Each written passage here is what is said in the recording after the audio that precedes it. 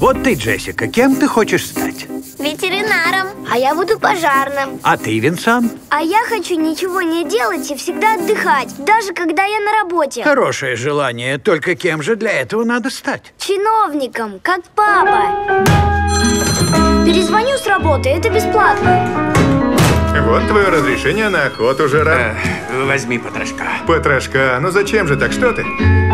Служащим будет предложено уволиться достойно. Если откажетесь уйти, я вас запихну туда, где вам не понравится. Выдавить тебя хотят. Загоняют туда, где невозможно работать. Так что, мне уволиться? С ума пошел! Что за святотатство? Найдите вакансию в самом гнилом гадюшнике в жопе мира. Хоть наизнанку вывернитесь, но найдите ее. Ваши обязанности входит защита сотрудников станции от нападений белых медведей. Видите? Метят сразу между ног. Когда вы выпиваете у друзей, их собака не нюхает вам яйца? Да, бывает. Не беспокойтесь, Фабрису пришили очень хорошо. Стало даже в чем-то лучше, но это я на всякий случай.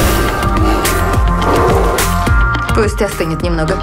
Напишите там, э, что я профнепригоден. Но тогда ваша напарница огорчится. Она что, ученая? Да. Вот пусть сама и учится.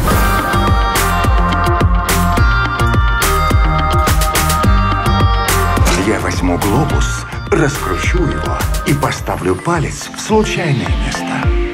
И засуну его туда, где палец.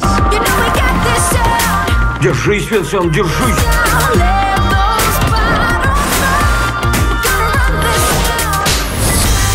Неувольняемый. Ну что, куда на этот раз? Он не доверяет белым, потому что они эгоисты, грубияны и невежды. Это правда, но лишь про маленькую категорию белых, которая называется жители столицы.